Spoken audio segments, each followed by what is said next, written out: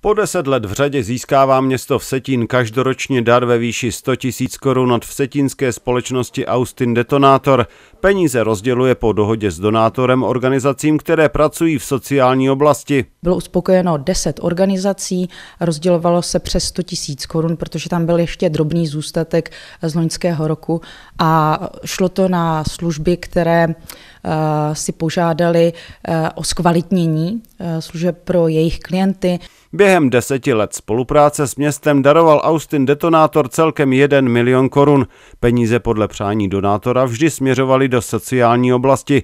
To, že je poskytuje prostřednictvím radnice, má pragmatické důvody. Považujeme město totiž za daleko lepšího odborníka než náš sami eh, k tomu, aby rozhodlo, které ty organizace jsou v daném roce právě nejpotřebnější.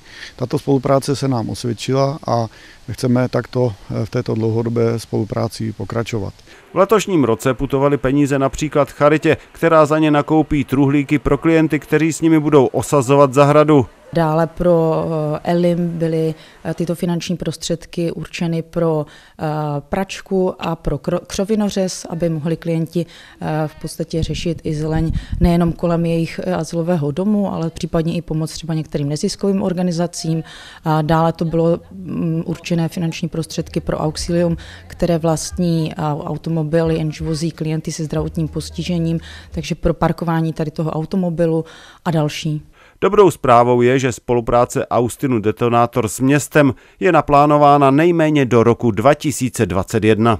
Smlouvy jsou eh, uzavřené na tři roky a eh, roční částka je 100 000 korun. Eh, poslední smlouva byla uzavřena v, roce, v tomto roce, v roce 2019 a je opět uzavřena na tři roky. Firma Austin je výjimečná v tom, že už takto s náma spolupracuje 10 let.